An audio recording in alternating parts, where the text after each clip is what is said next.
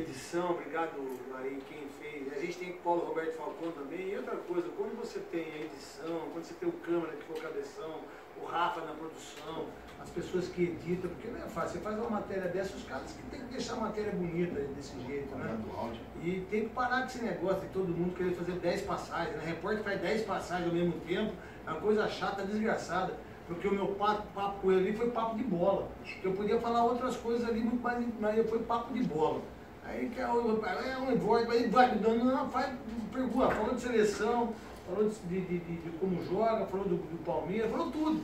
Uma boa, uma nice, é assim que a gente faz matéria. De craque para craque, segunda-feira, que foi hoje, está sendo hoje, nós dizendo, a terça-feira, hoje mesmo, meia-noite e trinta, você vai ter essa matéria ó, é, total, meia-noite e trinta, total do primeiro até o 30 minutos, e no YouTube, youtube.com barra Oficial, youtube.com barra Oficial, depois que terminar, ela já entra no YouTube para vocês acompanharem todos vocês aí a, a nossa matéria